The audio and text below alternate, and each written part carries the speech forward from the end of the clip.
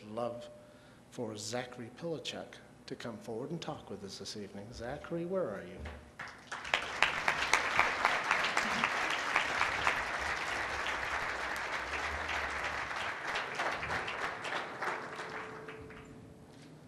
So how's it going, Zachary?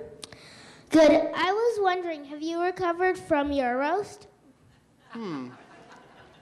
Well, uh, you know, I was kind of left to hang out and dry. It was a tough night, but it's been a few years. I'm feeling better now. I hope Jack Mallon isn't as dry as you were.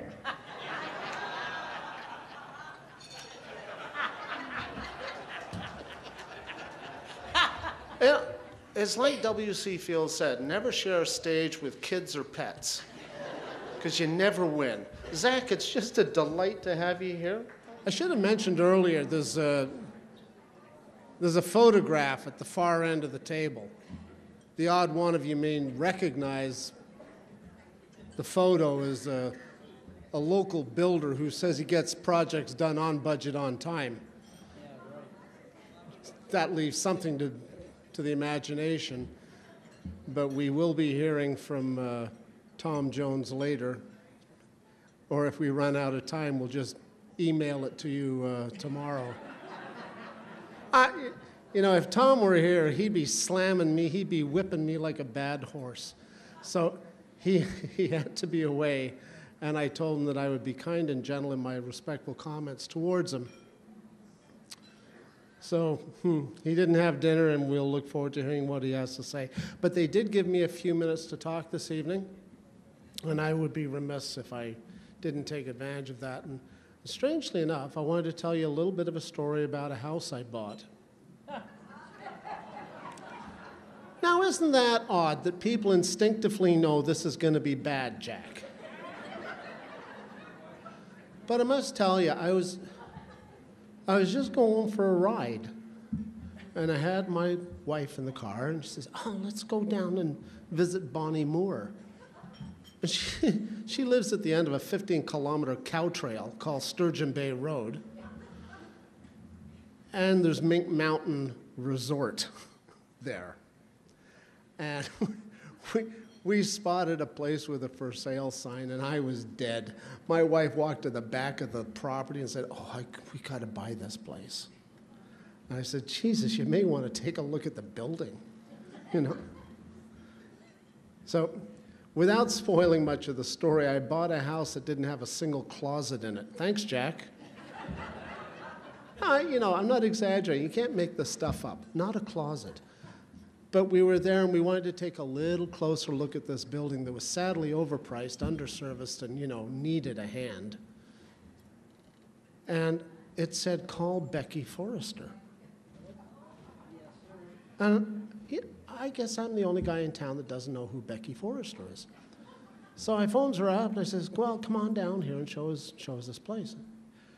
And it was in the fall. It was, it, it was November. It was a pretty cold day. Geez, I'm not getting you away, am I, Jack? well, I, I hate to bother. Just sold a house. Oh, geez, I hate to get in the way of that. Closets. yeah. Did it have a sump pump? So out comes Becky, and she meets us. And this property is kind of interesting because it's, it's sort of like a 45 degree angle plummeting precipitously down to the lake. There's a little flat spot in the middle of it where they perched the house, house, camp, shed, a closetless shed. And Becky comes along and, you know, she's showing us around and doing her best to, you know, give it the good spin. I said, Well, what's up there? She says, Oh, that's your land too. I said, Wow, let's go up and take a look at it. And it's like a shale cliff. Now, the previous owner, God bless him, had built a less than safe set of stairs to the top. And we clambered our way up like maniacal goats. We get to the top of the hill, huffing and puffing and thinking, oh, geez, this is grand, isn't it? We get back down. And it's when we get back down to the bottom of the hill, I say, Becky, you seem a little bit out of breath. Well, I am eight months pregnant. That's Becky over there, and she's she was uh, she had the joy of selling me this house, which Jack set her up to, and I said, Jack, in that we're going to list our house after buying one from your daughter, could we get a break on it? He says, What kind of wine do you have in the house? Apparently, it wasn't good enough because he didn't give me a break. He made me sign all the stupid papers that Becky wanted me to sign. And to this day, he's never said sorry for selling me a house that I couldn't move into until I built a garage. I got to tell you, you know, Jack, he's, he's a pretty avid fisherman, eh? No, he likes that stuff. Although I do notice, I do, did, did you see on the sign? It's a trip on the bay for six to eight people, right? Six to eight. I guess these are normal sized people, six to eight people for a day on the bay. But I noticed the picture has 12 people in it. And I also noticed they are all shockingly lovely young women. He's shrewd. So he was all set for this annual fishing trip, did it every year. 30 years been going fishing with the same fellas. Every year, special weekend. And it's coming up, and he says, Boys, I tell you what, can't go this year. Which is not good because he's got the boat. And I said, Jack, what the hell are you talking about? You gotta go. He says, Oh, Greer says I can't. She says, You ain't going. And I figured I better not go. So they said, Well, we're going to miss you. And don't you know, the very next weekend, when they're getting ready for the trip, there's Jack at the stern of his boat, letting lines loose. And they're saying, Jack, God, it's good to see you. But we didn't think you were coming this weekend. He says, I know, strangest thing happened. The missus came home last night, and she was dressed in, you know, skimpy stuff and frilly, frothy things. And she had some rope and some handcuffs with her. Well, geez, I was pretty confused, but she looked at me. She says, You know what, Jack? I want you to tie me to that bed. So I did. And she says, Now you can do whatever you want. So here I am.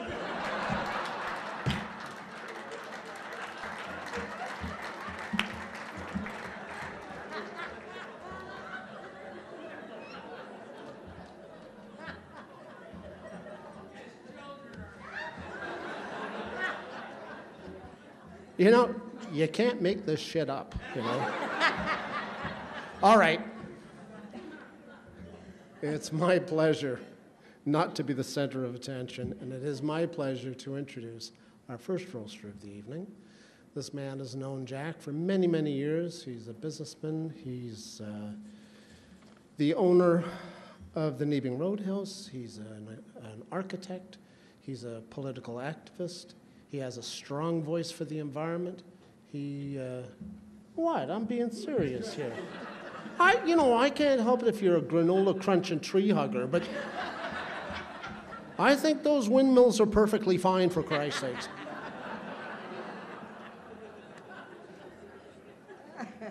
I didn't know how I was going to work that one in, but I think it, I think it came along just fine. Please join me in welcoming John Beals.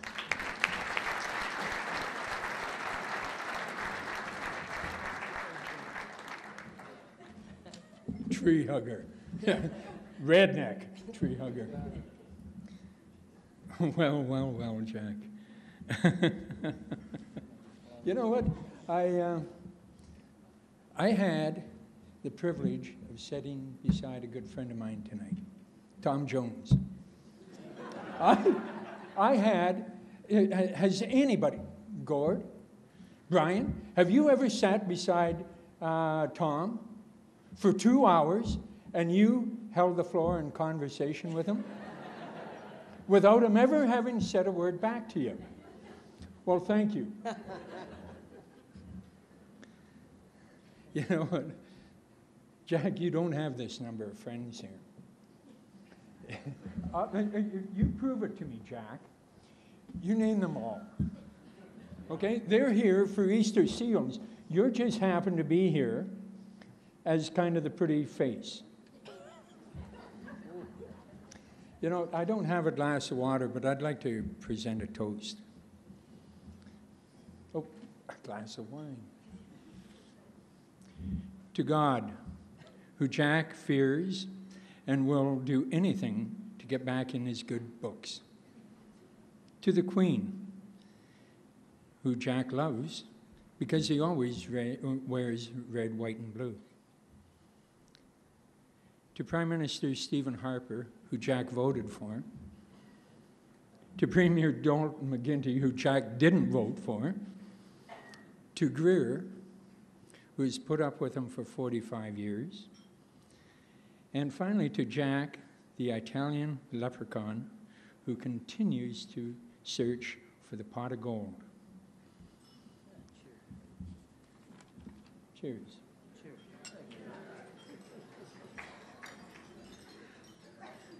Jack, having searched for that pot of gold, let me tell you where it is. It's in the candy aisle of Safeways.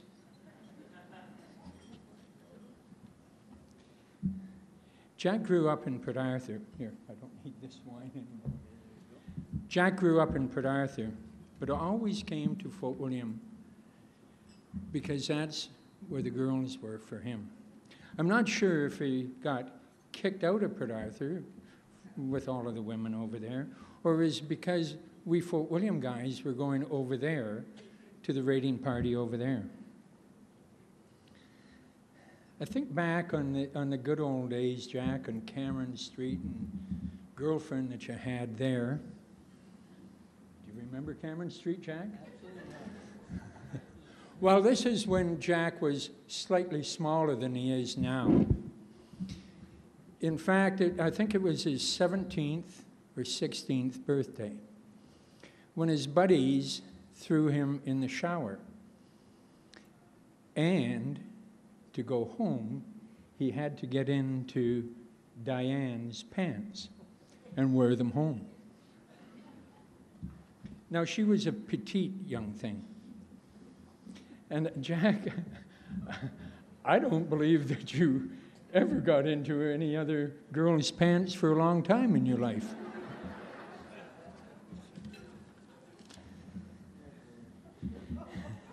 Jack, where and why did you ever come up with the phrase, it's not the size of the force, it's the fury of the attack?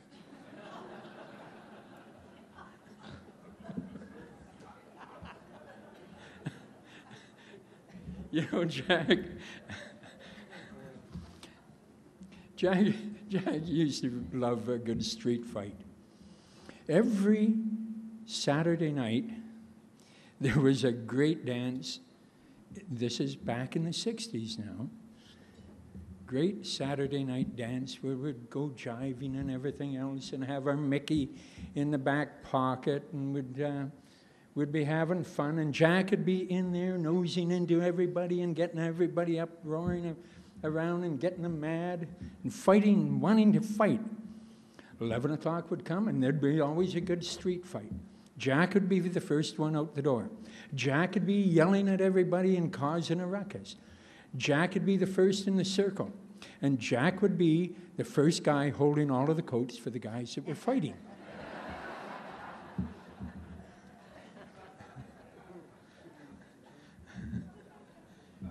You remember Scully? You remember Towie? You remember Norlander? Eh?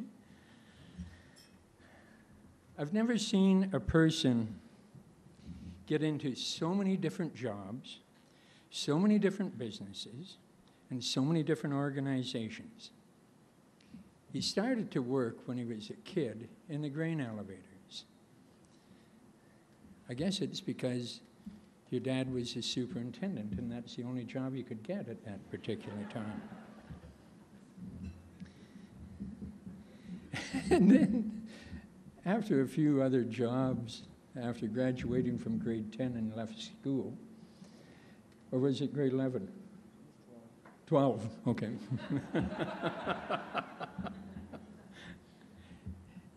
he had a couple of jobs, and then Jack's always an entrepreneurial at heart, and he's just thinking of all of these things. And he's working for the Heinz Soup Company, okay? But he's got to make a little bit more money than just working for the Heinz Soup Company. And it, it was back in those times. Remember Gold Finds by the bridge down in Toronto or down in Duluth, if you can think back that far. Well, Jack, as an enterprising young guy, decided I'm going to create Gold Finds by the Curve. That's a little store right in the corner of Victoria Avenue and Simpson Street. Jack had all of this merchandise that he couldn't dispose of, like cans of soup and you know merchandise that other uh, uh, salesmen had. So he decided he could sell it.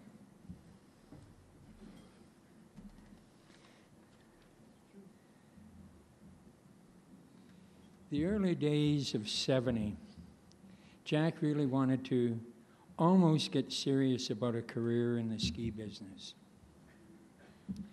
He, he was an owner and manager of a place called Little Norway. But little was never in Jack's vocabulary. So Jack decided that he had to change the name of the mountain to Mount Norway and convince his partners to go out and get one of these newfangled hill groomers. So Jack went out, talked to his partners, they refused it. They gave him a twin track bombardier to groom the mountain. Well, Jack was almost good at it. He got up to the top and he rolled that sucker down the hill, almost killed himself, and said, I ain't messing around with these pieces of equipment anymore. Jack, you got to remember that big toys are for big boys. little toys are for little boys.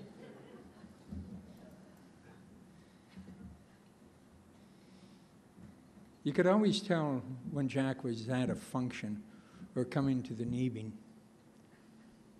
because he'd always park his car on the front steps. You always knew, Jack, except he had this wonderful car. And when people get into that mode of drinking, especially at the Neebing, they don't care if there's a car. Even though it's a Jaguar parked at the front steps, they just walk right over top of it. Jack decided very quickly in his life to move from physical work to where his mouth could do the work. Thank goodness for the ski industry because that was when the ski industry was taking off in the mid 70s. Jack created Thunder Country Tours.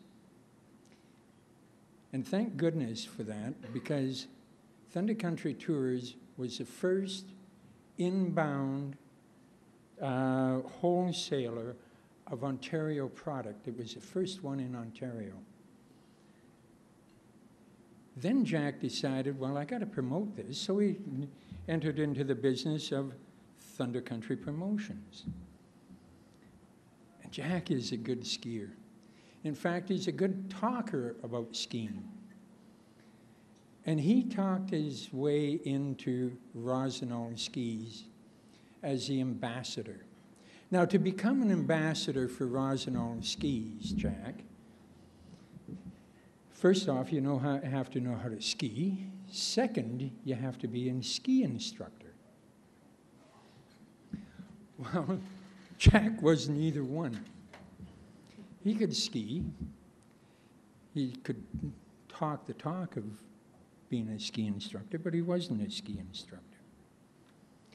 But he was an ambassador so, Jack, you can talk the talk, but you didn't walk the walk.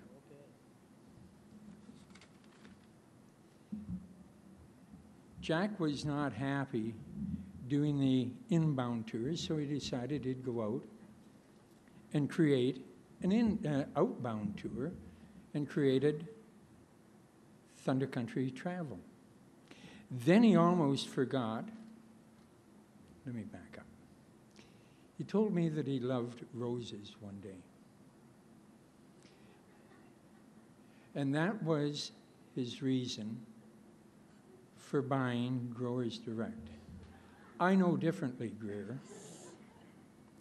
He almost forgot your anniversary, and he needed something implanted in his head to remind him to bring home roses to you all the time.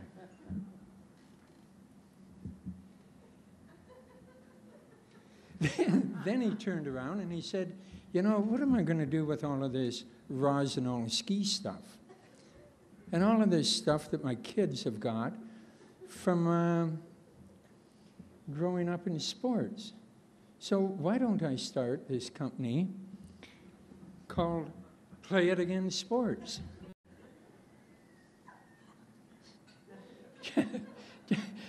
you know, you, you just keep on going and going and going like the little bunny rabbit. And Jack loved to own real estate, but he didn't know how to do anything with the real estate. So he, he, he said to me and convinced me that I should be a tenant of his.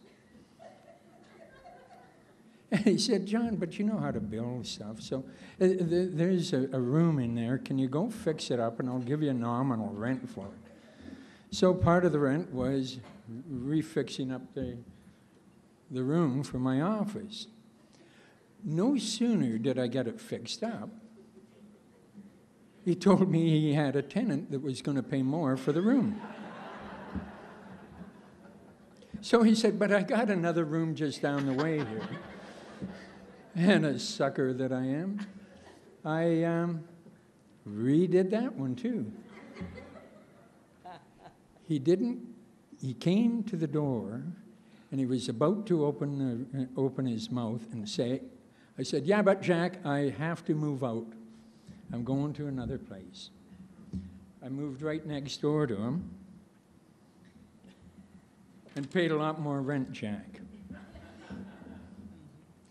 You know, Jack was not only an ambassador, but he was the president of uh, North of Superior Travel Association, where he took on this book called The Circle Tour.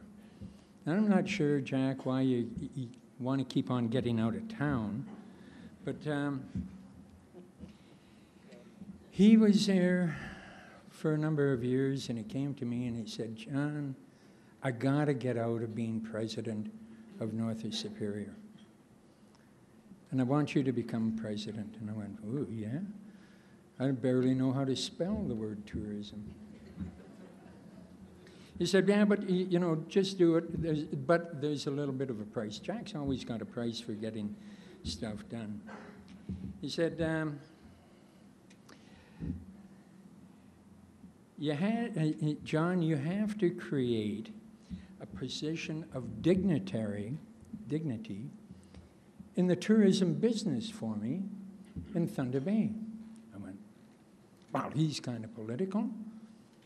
We'll just make him a senator. So Jack is the first and only tourism senator of Thunder Bay. Now, I didn't have any influence at all in that. I thought that he I couldn't produce senatorship in any other place. So, Senator Jack,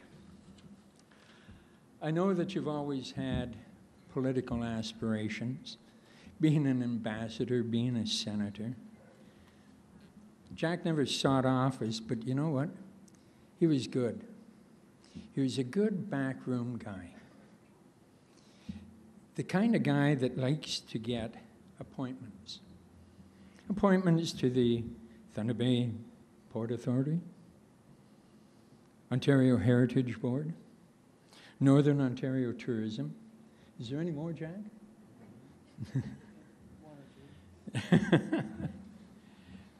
Jack was a long term, loyal, progressive conservative.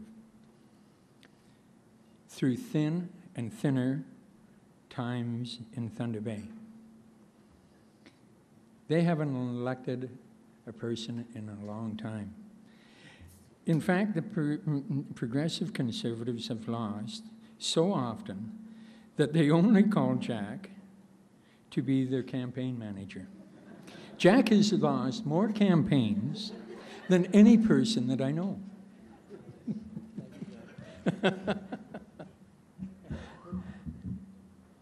Jack had so many businesses on the go, he had to figure out what impression he wanted for his legacy. So, guess what? He created Mallon Impressions. And then decided, well, I got to advertise it. So he created Mallon Advertising. Jack, you're lucky that you have kids that can pick up the pieces behind you. Kelly, Jason, Rebecca, and Katie I always say, Where the hell were you, Jack, between 74 and 85? and you know what? They thought that Jim Johnson was their father.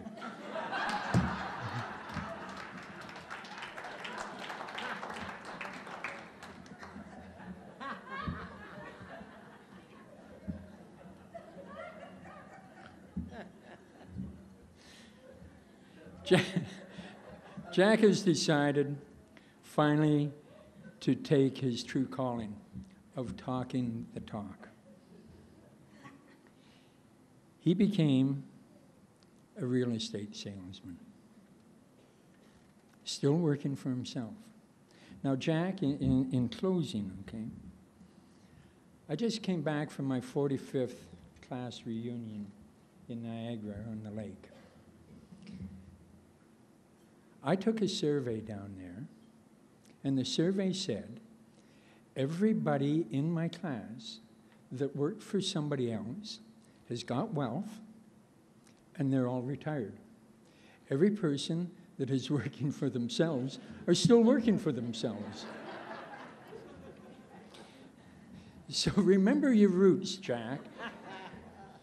When you were working for the grain elevators, you would have been happy, not maybe as happy as you are now, but you would have had a full pension. Thank you, Jack, for uh, allowing me to be one of your presenters. I've uh, enjoyed my time with you, and I, I'm sure that everybody here was saying, why the hell would you ask John Beals to roast you? I don't want to roast you, Jack. I just want to toast you. You're a good man.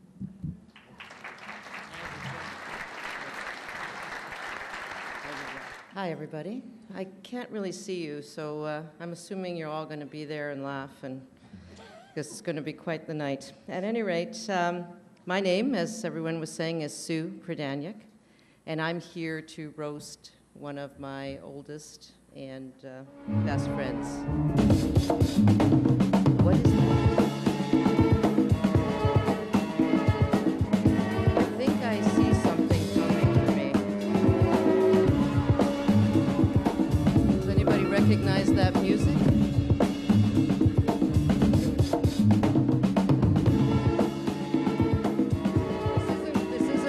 Jack. This is for me.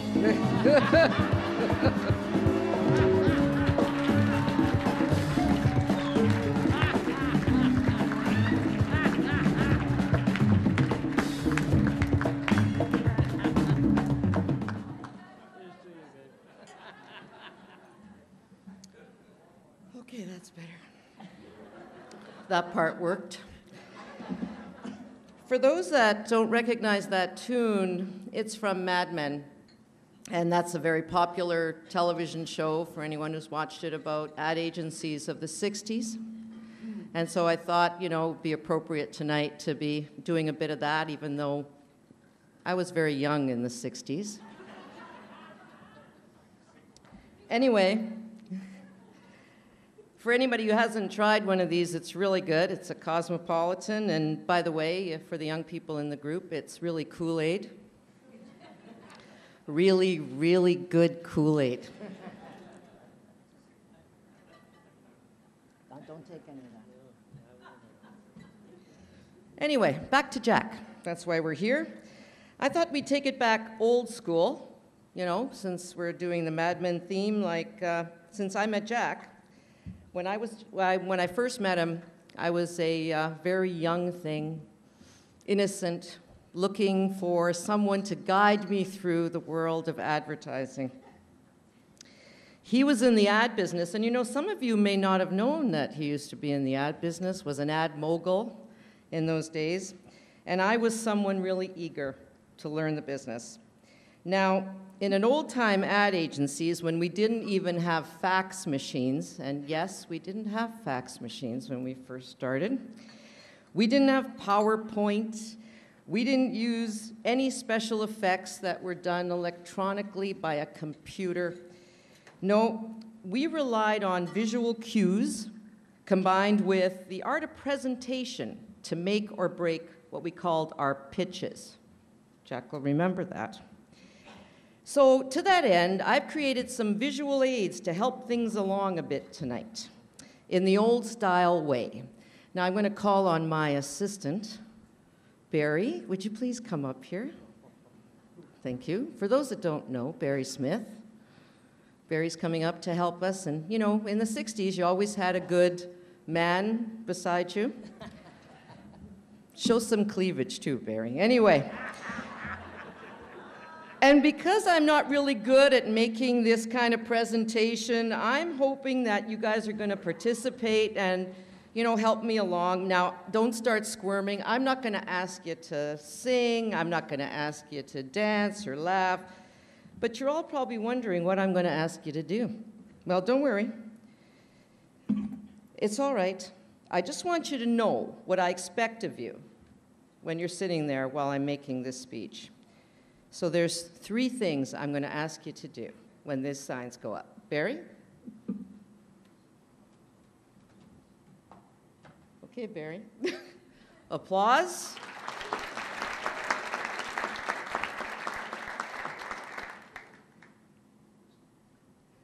Laughter.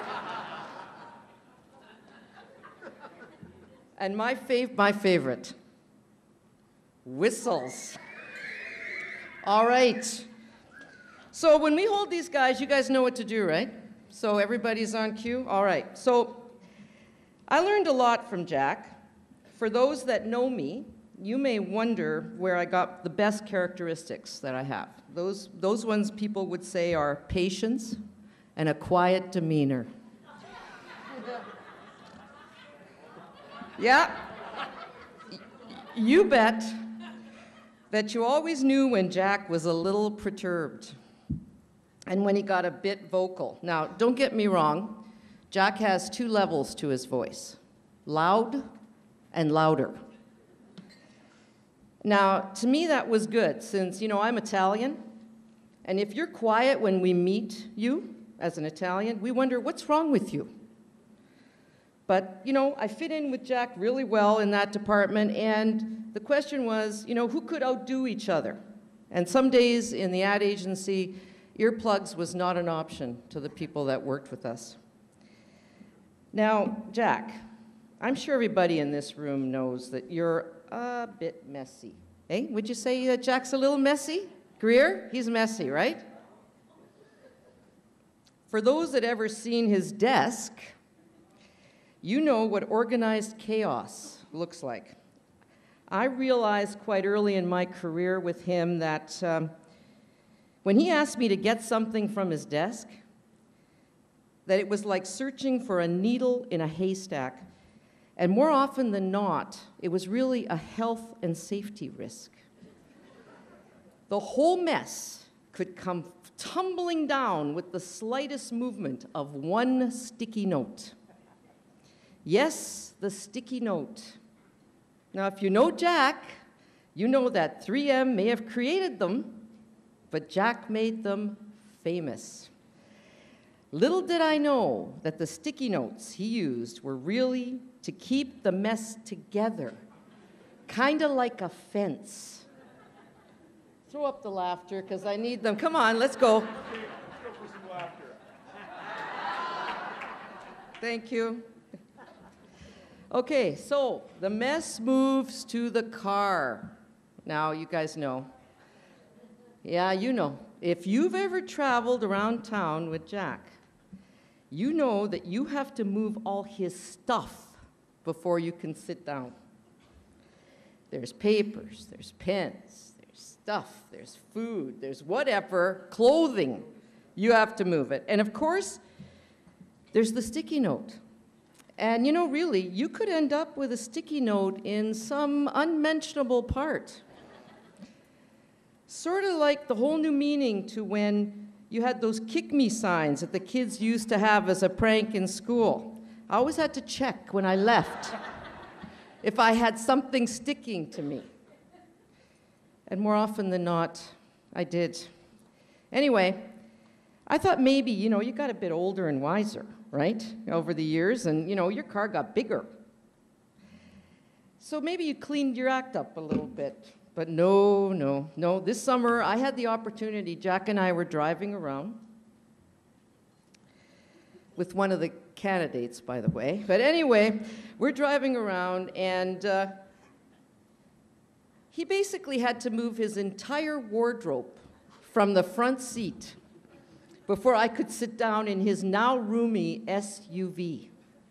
And even then, as we drove around for at least a couple hours, there were two or three suit jackets that were on the headset of there. And so I was sitting like this the whole time. And I always remember, Jack, someday somebody is going to clean your car, right? But it's not going to be Greer or the kids. Oh, and the sticky notes, they were all still there. Same sticky notes. By the way, yellow is still his favorite. One of those important things that Jack taught me about the world of advertising and promotion was to be flexible and to think big. You know, always think big. So, the first flexible, I think John, our, you know, his friend, already alluded to, and it can be best portrayed in his constant pursuit to satisfy a client's needs. And when we worked with him at the ad agency, it would be like this Oh, you, need, you have an ad agency? You need an ad agency? We have that. Do you need a travel broker? Okay. What about a publisher? And maybe you need a couple of dozen roses on your way out the door. Jack was nothing but not flexible in this pursuit of satisfying a customer. And now, you know, if you want an office, a home, a tent, or a home without closets, Colin, you know where to go because Jack's got it all. Now, probably the most important thing Jack taught me was how to think big. And this cannot be better conveyed than through the story of our first attempt at the bid for the World Nordic Ski Championships. And I know Jack's thinking about that. We were in Vancouver, you know, and we were bidding against some of the most experienced countries and in the world. And our job was to win enough votes, right? And if you know the way the system worked, at that time, not today, but at that time, there were very few rules on how you did that. Throw up the whistle just to get the idea.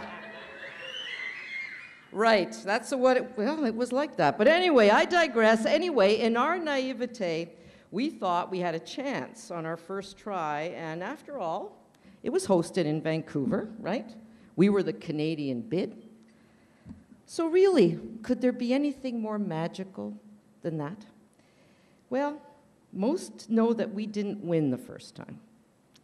In fact, it took another effort to achieve what we began, and really, you know, Jack, I think it was a full 10 years before we actually hosted the event. Oh, and by the way, the night that we had the grand opening of the Nordics, after 10 years of agony on my part, where was Sue? Sue was parking cars in the parking lot. I'm not bitter. But I digress again, Jack, because this is about you. Anyway, we were in Vancouver, and each bidding country was to host the voting delegates for lunch. Yeah, I actually did park cars, you guys. Really, I did. I also had to pull them out of the mud the next day. Yeah, if anyone remembers that, uh, we were, it was like plus 30 and our whole parking lot sunk. Anyway, so here we were, we were hosting the delegates for lunch, and we knew we had to do something big, right? You're with Jack, we have to do something big. This is like, these guys are from all over the world. We had to show that these poor little people in Thunder Bay could, you know, put on a show. But we had no money. Sounds like a number of the political campaigns that Jack's been involved in over the years. You can laugh at that one. Should we throw up the laughter one for that, Barry? So, we picked up the delegates in long white limos and we delivered them to BC Place. Now, where we had lunch on the playing field.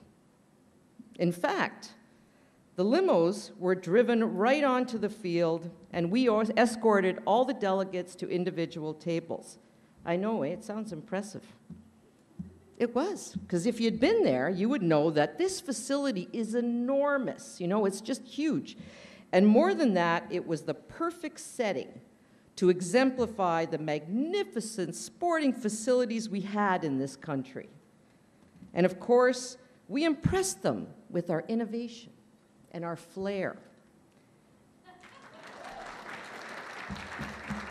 Thank you guys are getting good. Anyway, the problem was we had no money to pay for lunch. Now, Jack, Jack knew this when we, he was booking this and arranging that. But hey, you know, go big or go home, even if you're in handcuffs when you go home. You may be wondering at this juncture just what we did. Well, Jack showed his true salesman flair when he negotiated payment with beer. Yes, beer. Cases and cases of beer that Molson had donated to us in our hospitality suite. That was what we paid for lunch with.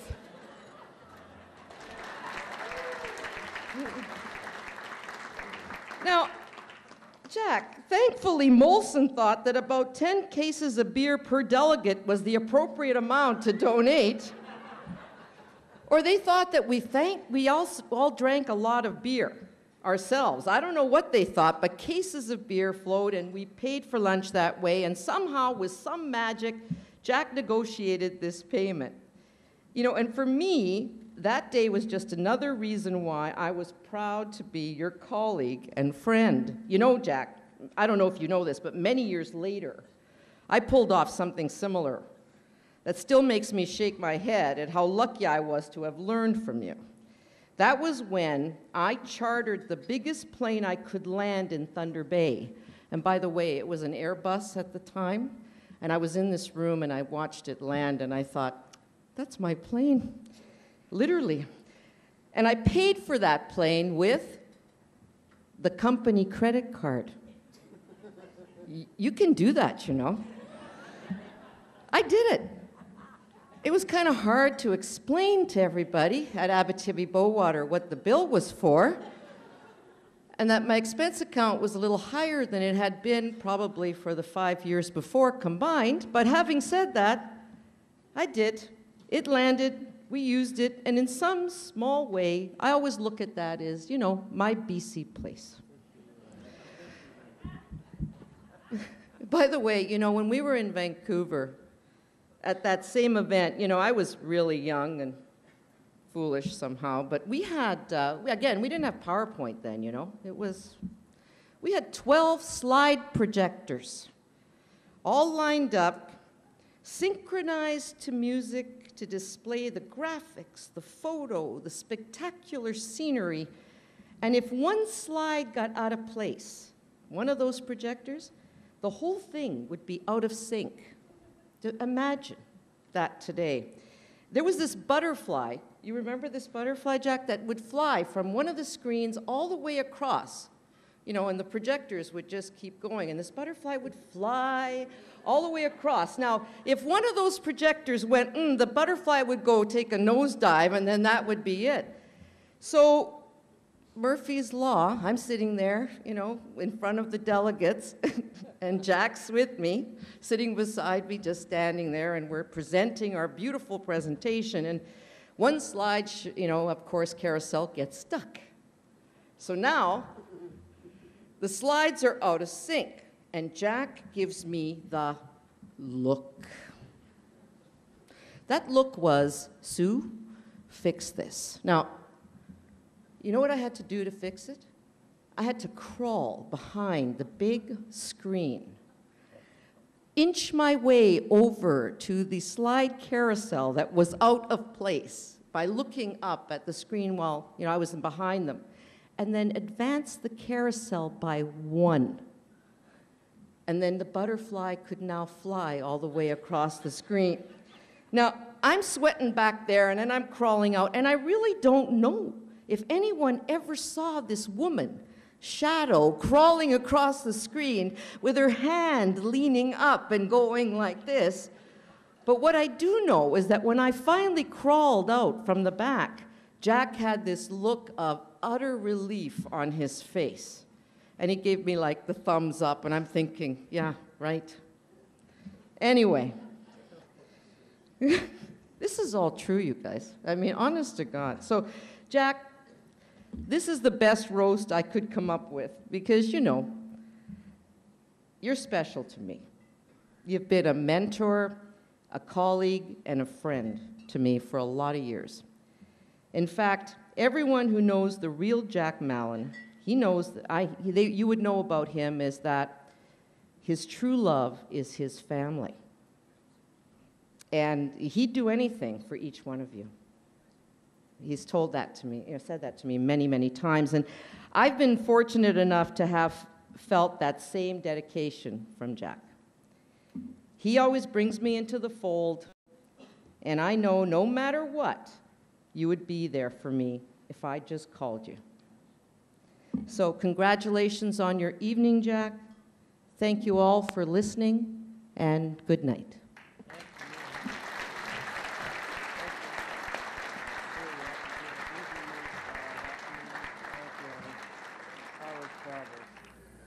Um, Tom Jones is one of the people that, no matter how you try, you just can't think of a respectful thing to say about him. He's Irish, likes to drink, adores women, but he has a heart as big as gold. And a couple of times now he couldn't be here but he unleashes his special brand of blarney and comes out with something magical. And usually, with the loving assistance of Confederation College or someone like that, they, they bring the magic to the screen. And I must say, um, Easter seals has to be held harmless. They had nothing to do with this. We don't know what Tom said. We don't know what he's going to say. We don't take any responsibility for it but I wait with eager anticipation for the Tom Jones tribute to Jack Mallon. If you can let it run, thank you.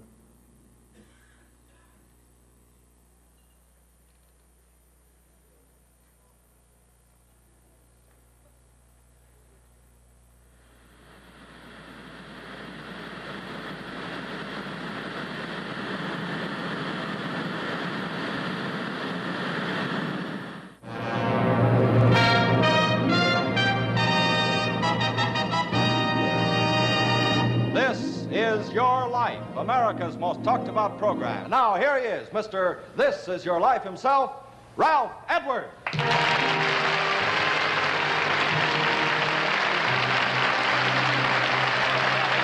go away tonight. I warn you, don't leave the set. This is going to be terrific. Hello, everybody. Thanks for joining us again on This Is Your Life.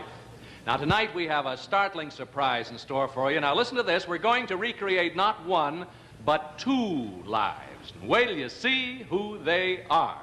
Now, This is breaking news from Confederation News Network.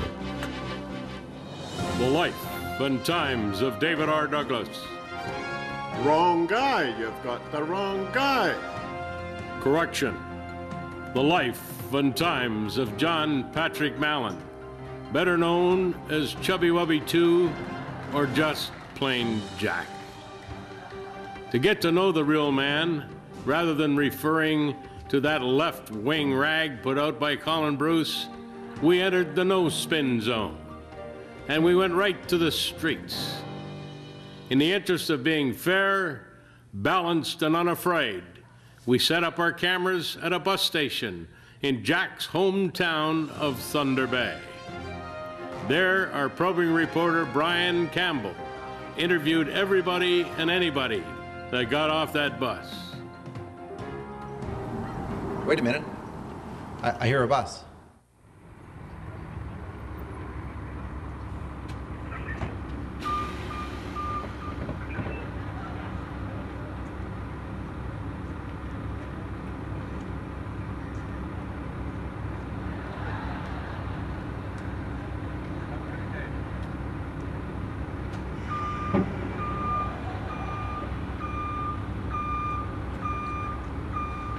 Alderman McKinnon. Alderman McKinnon. Oh, yes. What, what are you doing here today? Well, I, I came over on the city transit because I am a great admirer of our city transit. They do a great job. I'm also here serving my constituents. I have a speech here at the uh, college today. I was looking for potholes on the way over, couldn't see any. Roads must be in great shape. So you're making a speech today, and who is that with you? I'm Brian McKinnon's personal piper, and I'm supposed to be here with him today. Personal piper. Personal piper. Every time we go to, he says something, I'm there piping. Do you know um, Jack Mellon? Oh, Porky. I've known him, Porky, for, or Mr. Mallon for years. Great guy. Uh, one of the things I really admire about him is he's selling the condos down at the waterfront. Uh, they are the ones that are being built beside the Jones construction buildings that are going on, the ones that are over budget and over time. Well, he has agreed to sell those condos commission free. What a great guy he is there. That's Jack Mellon. That, that, we're talking about Jack Mellon. Now, the other thing about Jack you got to remember is uh, politically he's right, but conflictingly he golfs left. And whenever he hits a big slice, he starts crying, he can't control himself, he's a mess out there, and it's disgraceful to see a grown man cry. But remember, when we're talking about Jack with a grown, we're talking about he's gone east west, not north south. So, good guy though, good guy. Well, we appreciate your time, and Ken Wilson, Thank and you. uh, We have- thank you have to go to our speech. Thank you. Thank you.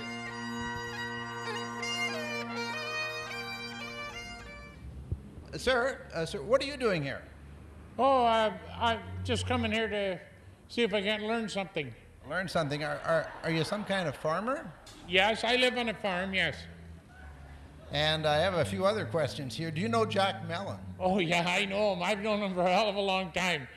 He used to work for me Many years ago. many years ago, yeah, right after he came out of school. What did he do for you when he was younger? He cut chicken for me. A good chicken cutter, you know, but he had lots of bullshit. Yeah. You mean he worked for you on a farm, or where were No, these chickens? no, no, no, no. Uh, he worked for me in my chicken stores. And, uh, you know, it's a funny thing that uh, if you uh, ask Jack today to list your house, he has to tell you that he worked at Dinty's. That's one of his big things in life. Oh, very good. I think you were on your way to learn something, Yeah. were you? Thank you. Well, uh, thank you, sir. Okay. Uh, good day. Good, excuse me. Good day, sir. Uh, Päivä, päivä, yeah. what, what, is, what is your name? Toivo Siistonen. What is it? Siistonen, S-I-S-S-I-S-I-T-O-N-E-N, Siistonen. Siistonen. Yeah. And uh, what do you do? I'm a rock driver for Tippy Tippy Company, you know. Do you, do you mean uh, truck driver? That's what I said, rock driver for, you know, Tippy Tippy Company. But I, I'm going to school now, going to be a hairdresser, you know, because they make a lot more money, you know, get the tips and everything, you know. And when those young girls take one look at me, they're going to get all excited, you know. Right. Oh, all right. And um, do you do you know uh, Jack Mellon? Melon? Like like watermelon? Watermelon? No, no. He, he looks like a watermelon, but Oh, J- I Jack, know, Jack Mellon. Fat guy. Oh, that's Chubby Wubby. Yeah, I know Dave Douglas. Yeah, he's he's jeweler. You know, he sold me earrings for my girlfriend Tula, but he charged too much. The bugger, you know, very expensive. You know. Not, not Dave Douglas. This is Jack Mellon. Mellon. Oh, you mean the real estate guy? Yeah, Chubby Wubby too. Yeah, he, he he's bullshitted that guy for sure. Yeah, Wubby too. That Malin. He's he's uh, he's always pouring Dave Douglas's suit. You know, they, I guess they never go to the same party at the same time because he's got Douglas's suit. Only thing good about either one of those fat buggers is they got nice wives, so I like those wives. They're good-looking ones, but pretty stupid marrying those guys. But I gotta go to school now, so bye, bye, bye. You have bye, a good bye, class. Bye, bye, yeah. Oh, I just hear something coming in. Having heard from the man on the street, we turned our attention to the highly respected accounting guru, yachtsman, marine expert, and international businessman, Mr. Fred Still. And did you have a moment for an interview? Uh, well, very brief. What's the subject? Uh, we want some information if you know Jack Mellon, Mr. Jack Mellon. Uh, are you talking about the Irish real estate huckster, short little fellow about yay high? Is that him? I believe that that's the Jack Mellon we're looking for. Well, I hate to admit it, but I do know Jack. Um, be happy to make a few comments on him. Please do. Jack's a very modest fellow. Uh, most people don't appreciate the contribution he's made to the city. If I can give you an example, our glorious waterfront development, Jack has contributed untold hours advising the city of Thunder Bay on waterfront development. And you know, if you look to the east and you see those magnificent condo towers rising from the ground along with the hotel, you can thank Jack Mellon. When you think of every time one of those whining boaters collapses on his dock from exhaustion from carrying gear down to his boat, you can thank Jack Mellon. When you stand gazing, literally gazing at that magnificent, the world's largest, most expensive Zamboni garage, you can thank Jack Mellon. Uh, when you invest in a condo down there, you can thank Jack Mellon. Admittedly, the city has made a wonderful contribution by basically giving the site to the developer. But Jack has agreed to waive all his real estate agency fees for that, which makes it a wonderful investment. Jack is the epitome of the three H Irish businessman. The three H's, as you probably are aware, stand for hardworking, heartless, and most of all, humble. Thank you. No, I have to Very leave. good. You, you're, in, you're in a rush. I'm in a rush. I have important things to do. Well, thank you, Mr. Still. I, I just got a message from our producer. Due to Jack's apparent identity crisis, we set out to find said David Douglas.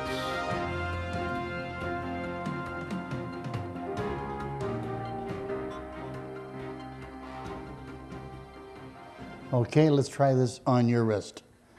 You notice it takes me a long time when I'm dealing with pretty women like you. Aw, But I think that'll fit you just fine. thank you so much for the discount. You are more than welcome. And that's great for payment.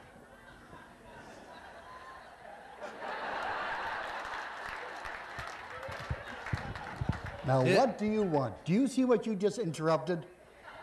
Are, are you Dave Douglas? Of course I'm Dave Douglas. Don't I look like Dave Douglas?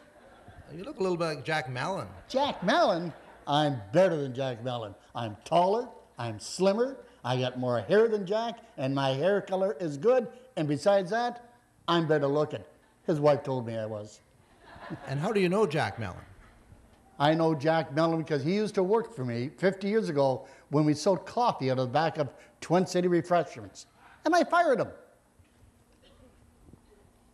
Why would you fire Jack Mellon? Because he stole my suit. So if you ever find that little fart, you tell him I want my suit back. I'll be sure to tell him. Uh, thank you for your time. Thank you very much for coming in. Do you have a wife? Would you like to buy her something? Uh, not at this time. All but- right. but thank- And there you have it the insight to John Patrick Mallon, the man or the myth or the melon.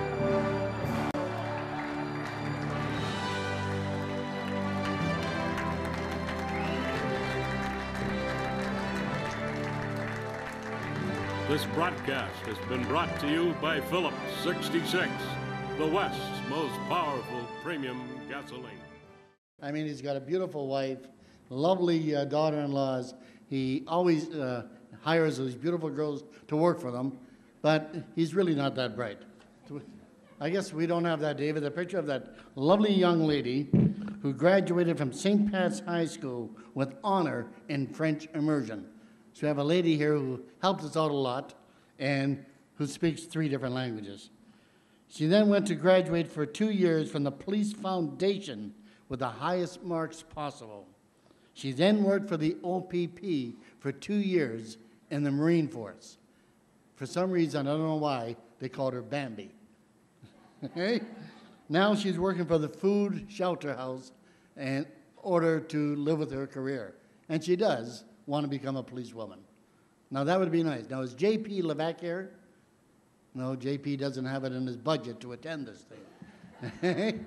but if, if he was here, he should go out and buy about 100 different handcuffs, and half the guys here who want to get arrested by that young lady should pay about 20 or 30 bucks.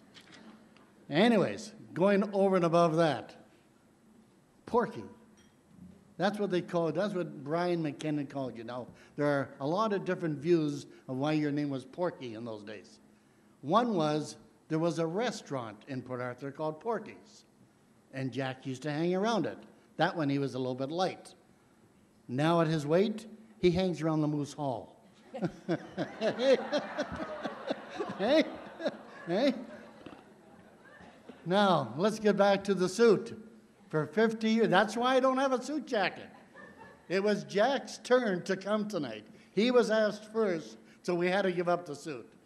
But you know what? After 50 years, I'm tired of this. I want my suit back, Jack. So what I've done, I went out and I bought you a new sports coat. So will you please leave my sports coat on that seat?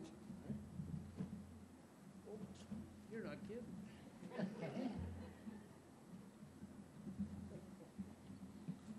Now we can. Colin's going to help me out here. my Right?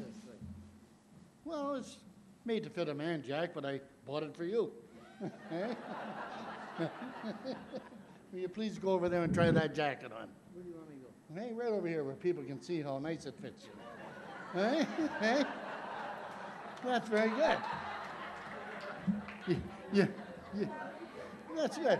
You, you notice that, that Value Village? I had a hard time finding the suit coat. I needed a guy who dressed downward, who had lousy suits. So I asked Colin Bruce where he bought his suits. so, so we went there. So now you can sit down. Eh? Uh, thus, so I've been told. Over and above that, remember this is Jack's roast, and we got to we got to roast Jack the best way we can. We all belong, or some of us belong, like Jack, to the Whitewater Golf Course, which is a beautiful golf course, and it's got a uh, it's got a gorgeous uh, lounge, and it's got gorgeous food, and it's got a halfway house that we all stop in at hole number seven and have our little twiddle.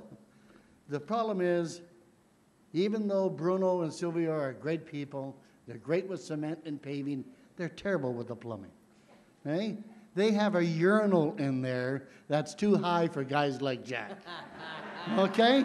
No, I kid you not. It's, it's way too high. And on a Wednesday night, when you're out there with the guys, you kind of rush into the room, and there's Jack. He's trying to get to the urinal.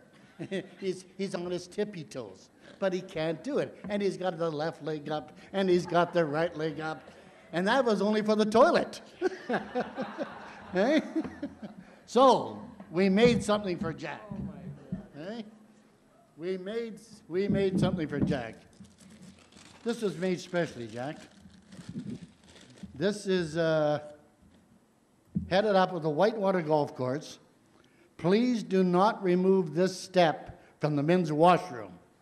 This step is designed so that Jack Mallon, okay, can reach the urinal. okay? And it's donated by his tall friend, David Douglas. Okay? Now, when I, when I made that up, I, I felt bad about Jack. I mean, Jack isn't the only one that's short on that golf course. So this step is designed, and you realize it's designed. It's just not thrown together. I had one of the best cabinet makers in Thunder Bay, which is high tech, put this together, and it's under a stress test. Yes, we had we had Jeff Sullivan step on it to make sure it was hold the weight. Okay? So I bought this step, and because it was just for just, not for just Jack, this step is designed so that Jack Mallon, Bob McCuman, Mario Paggi, Barney, and Colin Bruce can reach the urinal. there you go, Jack. Okay, I'm not kidding. I'm never kidding. It has been a long time. Jack and I have been together for close to 50 years. It's, uh, you know, when you travel 50 years and you've lived each other's lives in 50 years, uh, we're not that close, which is good because I couldn't take his bullshit that long. but we have been together for a long time, and we started at Twin City Refreshments, as you've seen on that machine. And we did. We sold coffee out of the back of a truck. We, wrote, we worked for a guy by the name of Frank Mahochin. And we quit him because we made him too much money and he paid us shit. Eh? Okay? Is Jack here? Is Frank's here. Frank's here? Who bought Frank the ticket? Somebody. Somebody buy Frank the ticket? I think that's fantastic. Okay. so, so Jack and you know we've been together for 50 years, and I know it's 50 years because next year I will be married for 50 years. Now that's great. Thank you. And I know what everybody's thinking. Jack's been married for 50, 45 years. I've been married for 50. Those women are very, very lucky. Hey? They're, they're great. Hey? Who would ever put them on earth to be married to us? Anyways, I know, I know it's 50 years because, and Jack remembers it well, he helped me move my brand new furniture into my first apartment on Brock Street. Now, I didn't know Jack well at the time, so when Jack helped me move the furniture in, when he left, I counted the furniture. I really wanted to make sure it was all there. Eh? And then he gave me the sex talk. Oh, yes, we were young at the time and we didn't know too much about sex. But Jack told me that when I get married, I could have these little pitter patter of kids running around. I said, Jack, I don't, I don't want that many kids. If they're small like you, they'll drive me nuts. Eh? But no, he told me to use the rhythm section or the rhythm method. That was it. That was it. And that was a problem. I missed the section. so therefore, I end up with five. Jack ends up with three. No, I've never counted Kelly. no, I've never counted Kelly. So I ended up with five. Jack ended up with three. I have 10 grandkids. He has six. So we have populated the earth. so we've done our best. But 50 years goes on. Jack had his children, I had mine, and I, I guess along the way we kind of lost touch with each other. And then all of a sudden we joined one of the greatest organizations that I ever felt belonged in this world was the JCs. It was, it was a great bunch. And uh, Jack came on. And uh, Sue, you're right, or John, whoever mentioned about the conservatives. Because here we were, we couldn't have been more than, I couldn't have been more than 26. You were two or three years behind me. And we helped guys like Jim Jessamine and Mickey Hennessy and Hastings. Hastings lost. I think you were the campaign manager. and then for the next 20 years, you continued being a campaign manager, and we continued to lose. so that went down the tubes. Then, Sue was right. Jack took over the advertising business. So we all became friends, and there was quite a few of us, and we all belonged to the small business management course in one of our, our, our local university or colleges. We joined together, and we got together, we lived together, and we followed all the practices, and then we all went broke. so something happened along the lines. Okay. But there was a point where even though John and, and I belonged to the Conservatives, we went to a liberal meeting. It was at the uh, Centennial Hall. Now, I don't know why Jack was there because he's never bought a ticket in his life. So somebody must have given it to him for nothing. Anyways, we, we got uh, into a group that night, and I call this the arson years because uh, we had a young dentist join us that particular evening.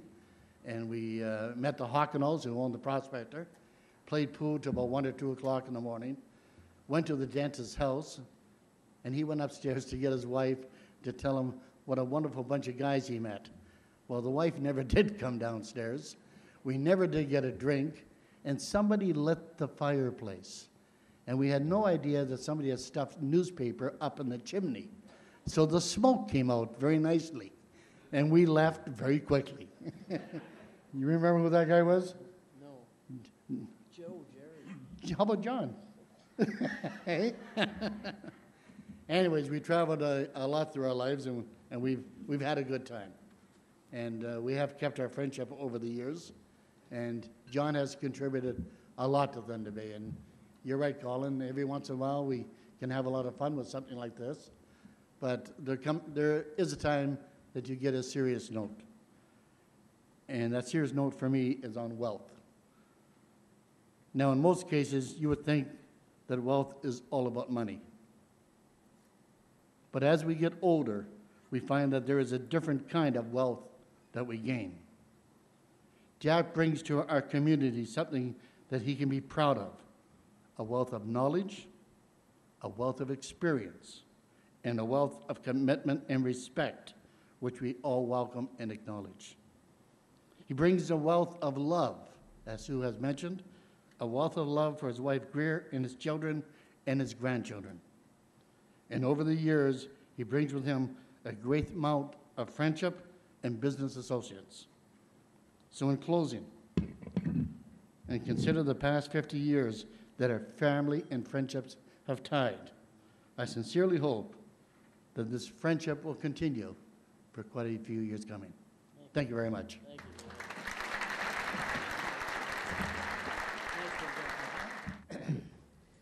I want thank everybody for staying. I'm looking, I'm looking out, I'm looking out there and I'm seeing everybody that stayed. I'm not going to get into a, um, a long thing about my good friends. These are, I'm sure that people thought, now what the hell does he know about John Beals and Sue and David? And uh, they, t- they told a story that I enjoyed tremendously. I really did. I, I, I um, and my friend Tommy, my Irish hero, my true friend. John and I go back. Uh, we started skiing. Greer and I started skiing way back in Little Norway days, and we've been, as he heard, he was. We've been customers of each other's back and forth. And Sue, Sue surprised me. Sue, you surprised me. I've forgotten all about how we paid for that thing. Uh, I, I do have to give you a little sidebar about that. Um, the controller of BC Place, we're talking BC Place, the one where the Grey Cup's going to be played in a couple of weeks, right, Gordy?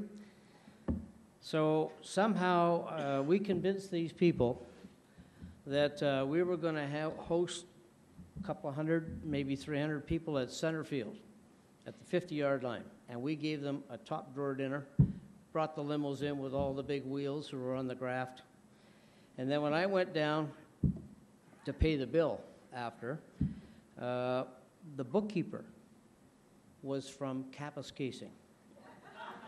Okay? Loves beer. She, she loves beer, absolutely. And I said to her, I said, thank you, wonderful event. Remember Tommy Tittle was up on the Jumbotron? We had the big Jumbotron.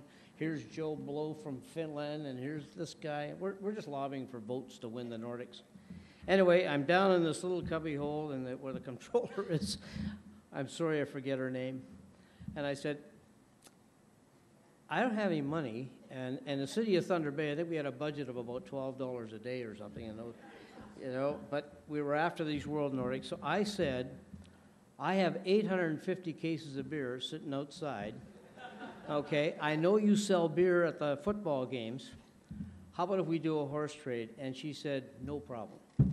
And that's how we did that one. So, Sue, thanks for bringing that memory back.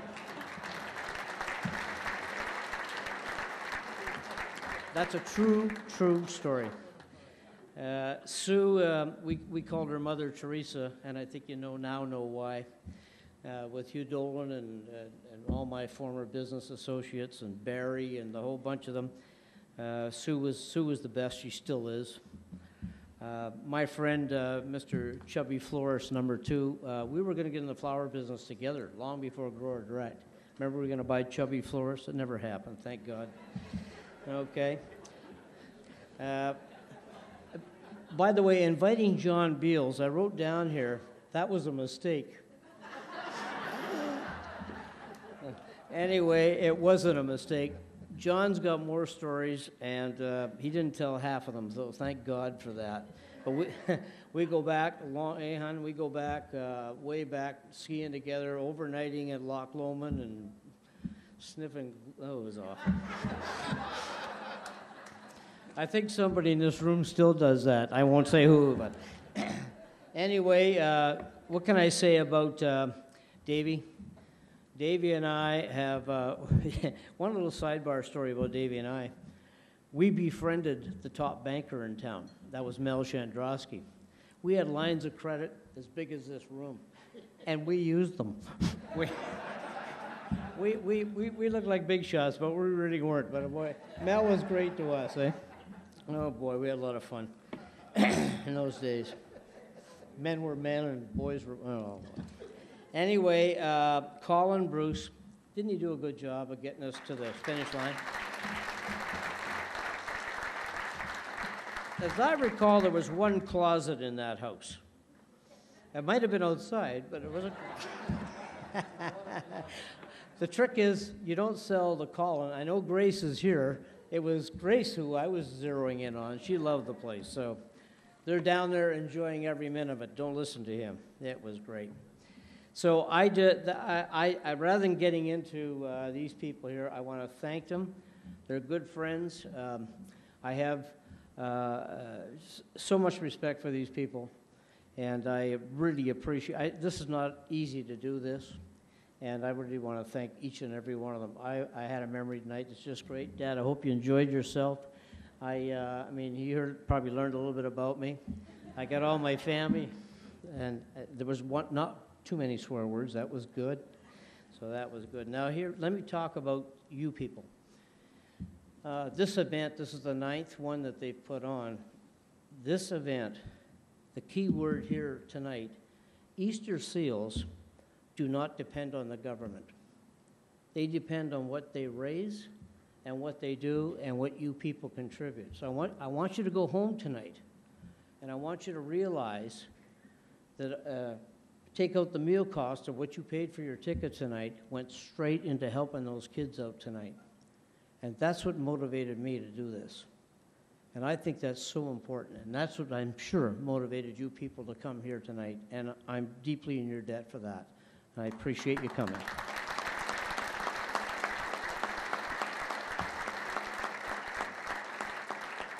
I want, I want you also to know that Rhonda, Rhonda up here, right?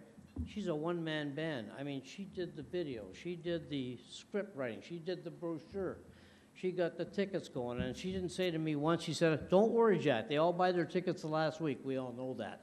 We've been doing that our whole lives. She is a one-man band, and the Easter Seals are damn lucky to have her, and she's got a real friend in me. I'll tell you that going forward.